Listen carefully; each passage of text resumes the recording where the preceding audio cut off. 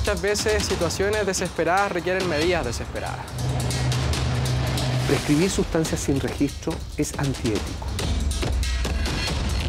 Nadie está por encima de la ley, menos los doctores. Puede llegar a ser fatal.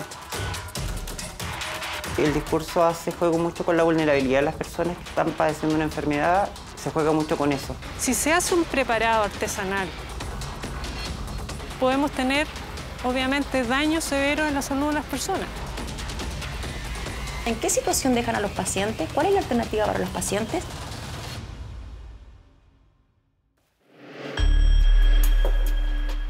Era una tarde de domingo y para Sebastián no había medicamento que aliviara los fuertes dolores articulares derivados del tratamiento contra un cáncer linfático en etapa 4.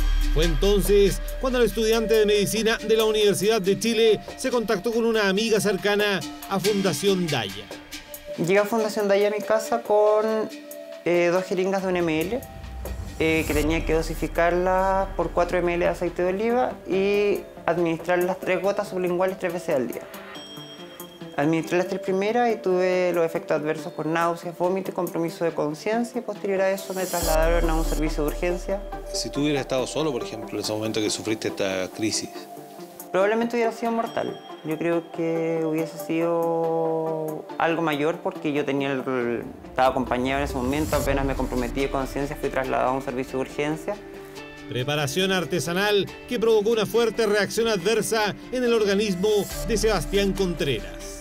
Y en ese momento cuando tú hablas después con tu médico tratante y le cuentas esta situación, ¿qué es lo que te dice? él? O sea, me dijo que suspendiera inmediatamente el tratamiento, que no, no lo consumiera más y que si él había tenido casos de otros pacientes que habían sido reportados también por el uso de cannabis, que habían tenido efectos adversos también y muchos de ellos habían terminado hospitalizados.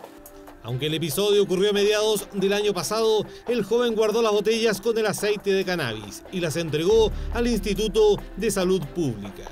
Esto no es un medicamento, no un fármaco que está procesado en un laboratorio, sino que un, un molino de plantas que sale un aceite y te lo dan.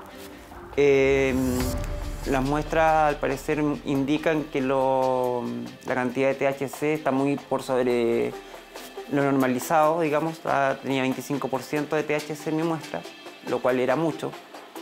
Y mm, creo que esos antecedentes son gravísimos y que la autoridad tiene, la autoridad sanitaria en este caso tiene que tomar medidas Recibida la denuncia, el ISP decidió presentar una querella por delitos contra la salud pública.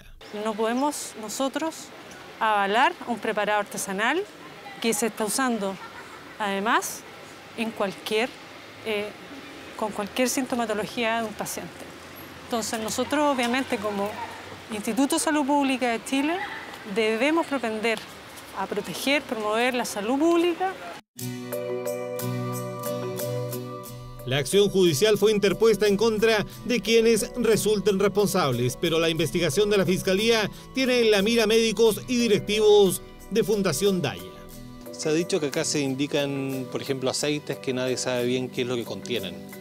Ya, eso es algo que tiene algo de cierto y algo que se puede mejorar. No sabemos lo que tiene, lo podemos decir estimativamente. Pero sí se puede saber. El tema es que no ha habido la disponibilidad para eso. Es cosa de hacerle una cromatografía. Es más, y hay varios que sí tenemos la información. Tenemos varios aceites que ya hemos medido artesanales, preparados por pacientes de nuestra fundación, que sabemos exactamente qué tiene y qué no. De que hay que hacerlo masivamente, sí, sin duda. Y esa es la tarea que tenemos pendiente. Pensemos que los pacientes que llegan a Fundación Daya, que llegan a Cannabis Medicinal, han recorrido todos los caminos, han golpeado todas las puertas, han intentado todos los tratamientos. Son aquellos que muchas veces el sistema desecha. Y acá nosotros los abrazamos, los acogemos. También en esta humanización del modelo, acá no se trata solo de dar cannabis, se trata de que atendemos a los pacientes con dignidad. La hija de Kenji, María Alicia, padece de epilepsia refractaria y la búsqueda de un tratamiento alternativo a la medicina tradicional los llevó a Fundación Daya. en esta desesperación, ¿qué podemos hacer? Eh, mi señora to- tomó la iniciativa de poder contactarse con, con, con Daya eh, para buscar apoyo. Compartieron su, su macerado. Eh, cuando se lo suministramos, la reacción fue totalmente adversa. Sí, fue súper complicado. ¿ya? Quedó en estatus así como, eh, casi como taquicardia, casi un paro respiratorio. Yo no se la volvería a dar. O sea, algo que no esté rotulado. Lo, que nosotros vivimos como experiencia de, las crisis de nuestra hija no, no, lo, no lo volvería a hacer. Efectos adversos en pacientes que llevaron a las sociedades médicas a levantar una voz de alerta sobre el uso de preparados artesanales de cannabis. Eso me hace pensar en la Edad Media, Poye. ¿ah? Eso me hace pensar en, en hace dos siglos cuando se usaba por ejemplo, tintura de opio para los pacientes por cáncer. Pero si tu papá tiene cáncer, le vas a dar fentanilo o morfina no le vas a hacer fumar opio, ¿no es cierto? y si tú estás tan desesperado que no te dan remedio y tienes que eh, recurrir al opio, yo no voy a defender el uso del opio. Voy a decirte, oye, no puede ser que no tenga acceso tu papá a la morfina, al, al fentanilo, que son sustancias medidas que realmente quitan el dolor. Lo menos que puedo decir es que es poco ético. Lo segundo que puedo decir es que, como dice el Colegio de Médicos, que, es una mala práctica porque no hay un consenso de los efectos beneficiosos. Lo tercero puedo decir que, se olvidó de Hipócrates, del, del, juramento, que es no dañar, ¿cierto? El doctor Chandía explica que en el ámbito de la psiquiatría ha visto con claridad los efectos negativos de la utilización de la cannabis con fines medicinales.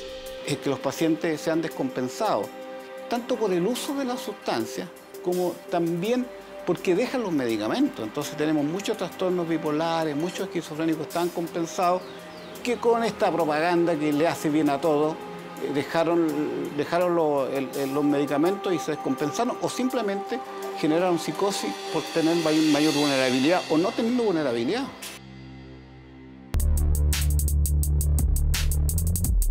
Un decreto firmado en octubre del año 2015 modificó tanto el reglamento de estupefacientes como el de psicotrópicos y permitió la elaboración de medicamentos a base de cannabis previa autorización del ISP y con receta retenida. Yo estuve siempre en contra de ello. ¿ah? Eh, le quiero decir desde ser experto, de trabajar en un organismo internacional y haber sido director del SENDA y haber sido director de tratamiento en el CONACE 10 años, yo estaba muy en contra de aquello porque era muy silvestre. Solo autorizar algo por presión política, sin evidencia científica, era algo silvestre. Yo lamento que se haya tolerado eso y se haya eh, autorizado aquello. NOP Laboratorios utiliza como materia prima la cannabis que le vende Fundación Daya. Marihuana que se cosecha en el Fundo Tierra Santa ubicado en Quinamávida, región del Maule. Granja de cultivo con 4.900 plantas que equivale a una hectárea. Todo gestionado por Dayacan, empresa vinculada a la fundación que encabeza la actriz y activista Ana María Gasburi. Y el fin es mostrar que en Chile podemos ser productores de cannabis como materia prima para que la industria farmacéutica transforme y procese esa materia prima en medicamentos nacionales. Y el otro objetivo es que en el futuro, cuando esta empresa empiece a funcionar y generar alguna utilidad, la mitad de esas utilidades van a ser destinadas a las labores de Fundación Daya. Cannabiol, el nombre del primer aceite de cannabis fabricado por un laboratorio en Chile. Con un permiso provisorio del ISP salió a la venta el año pasado. Sin embargo, se encuentra agotado en farmacias y la autorización para producir más unidades no ha sido renovada. Ya hay dos autorizaciones que se hicieron en el año 2018 por vía excepcional y por lo tanto eh, amerita, digamos, que nuestra respuesta sea primero formal y sustentada en la evidencia científica. ¿Se puede seguir con autorizaciones excepcionales o ya hay que tomar una decisión más definitiva? hay que tomar una decisión definitiva. Según Fundación Daya, la no renovación del permiso para fabricar y vender cannabiol afectaría a 2.500 pacientes. Hoy día está desabastecido el stock de cannabiol en todo Chile. Los pacientes no pueden acceder, los médicos no pueden seguir prescribiéndolo. Y aquí en Fundación Daya estamos recibiendo pacientes que nos se comunican desesperados con nosotros por la situación crítica que están enfrentando, por esta dilación de esta autorización que no entendemos cuál es la justificación. Agarro la gramera y empiezo a pesar los cogollos. Aquí tenemos 10 gramos. Y ahora lo que tenemos que hacer es desmenuzar los cogollos, ¿ya? Romper los cogollos. Pueden utilizar moledor, pueden utilizar tijeritas, pueden usar las manos. Ante la falta de stock de cannabiol, muchos pacientes han llegado hasta Fundación Daya para aprender la técnica del autocultivo de marihuana. Hoy día ya está consumiendo cannabiol que le resultó el doctor y obviamente le cambió todo Entonces, y hoy día nos preocupa, cuando uno ve por los medios de comunicaciones que hoy día hay un freno, un bloqueamiento de este medicamento, nosotros estamos preocupados. Hoy día nos interesa mucho más aprender a cultivar para que podamos hacerle la medicina a ella. El uso de la cannabis con fines terapéuticos provoca una fuerte controversia en el mundo médico. Algo que me tiene muy molesto derechamente es que médicos digan que no hay eh, evidencia científica y que dicen que somos activistas. Yo les pido que, que en PubMed escriban cannabis solamente. Se van a encontrar con más de 30.000 artículos. Y si es que buscan ensayos clínicos, se van a encontrar de más, con más de 1.400 que se están llevando a cabo y, y creo que han sido como 10 o 14 que ya se han terminado. Entonces decir que no hay evidencia científica es un acto de irresponsabilidad derechamente. ¿Usted no se considera activista, fanático? Activista sí, fanático jamás. Me parece muy temerario y muy irresponsable hacer algo así. Eso es antiético. Porque una de las cosas fundamentales de nuestro juramento hipocrático es no dañar. Tener la certeza de lo que uno va a dar es no dañar. Cuando uno está dando una sustancia dañina, que está demostradamente dañina, y que hay una creencia de que puede hacer bien, eso es realmente irresponsable y realmente poco ético. Un debate que también ha tenido repercusiones para Mamá Cultiva, organización de madres que promueve el uso medicinal de cannabis y cuyos hijos padecen epilepsia refractaria, cáncer y otras patologías. Para nosotros es vida. Para nosotros es vida y lo que está pasando hoy nos duele, porque llevamos siete años en esta búsqueda. ¿Y qué pasa con el gobierno de hoy? Nos criminaliza, nos, las sociedades médicas se burlan de nosotros. En Twitter, Facebook, ha sido brutal la agresión en contra de las madres cultivadoras este tiempo. Nosotros en 10 años probamos todos los fármacos que había. Y operación, mi hijo tiene implantado un estimulador, hicimos dieta y nada funcionó. Y esto nos ha dado mejor calidad de vida, sus crisis han disminuido, podemos planear el día de mañana. El llamado al ministro de Salud es que apure la canasta de los medicamentos caros. Esas mamás no debiesen estar desesperadas lo suficiente como para ir a cultivar marihuana y darle una droga a sus niños que sabemos que daña.